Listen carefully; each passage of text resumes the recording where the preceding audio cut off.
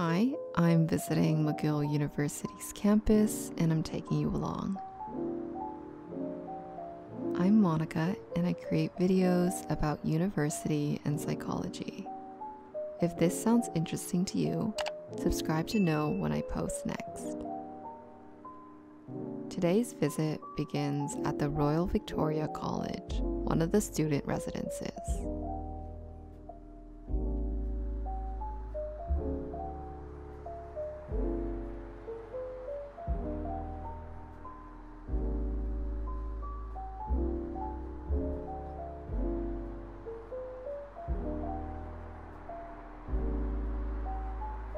Within a few steps, we reach the Dentistry and Psychology building.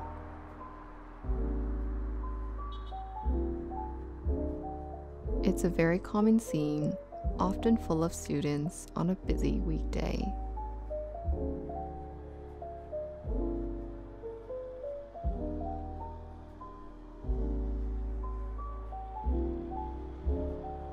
The path here leads to the McCall MacBain Arts Building.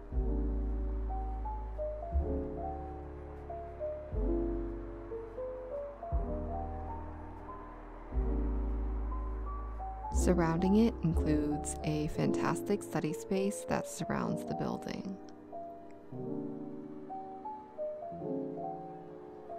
In a previous video linked in the description box, I've explored other parts of the McGill campus.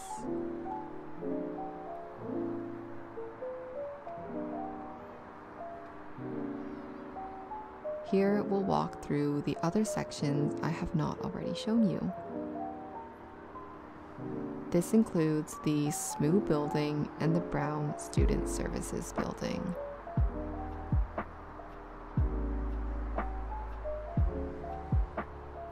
Going up behind the Student Services building will lead you to another privately owned accommodation, and behind it, the Stewart Biology building.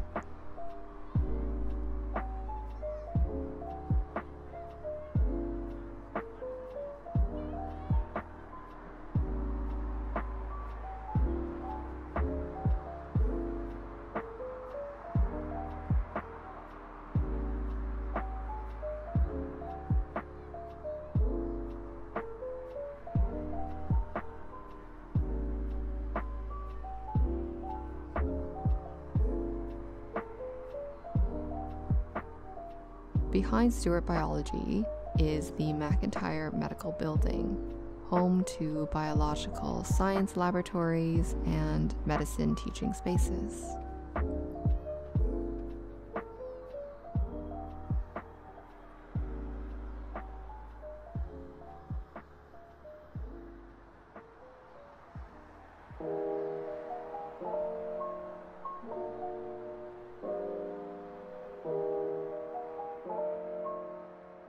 These are some of the inner spaces within this faculty.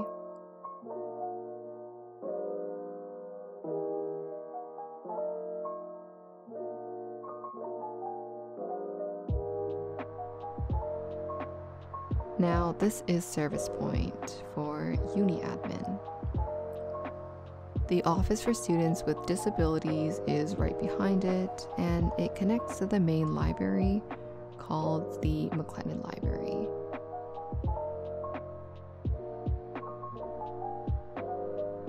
You've probably seen the Redpath Museum and a wonderful view ahead.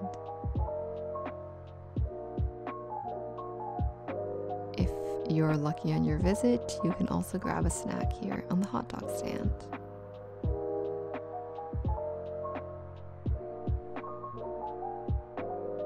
Now I'm at the Burnside Building, home to the Science Undergraduate Society, among other teaching and learning spaces.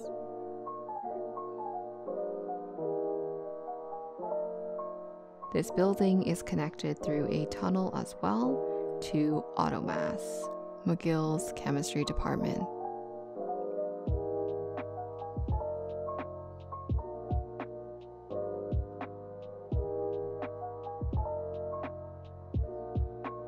Ahead is the Schulich Library, which is under renovation at the time of filming in 2021. There you have it. If you want to see part one of my McGill University campus tour, you can click on the end card or scroll down to the description box to locate it. Subscribe if you enjoy this video and see you in the comment section.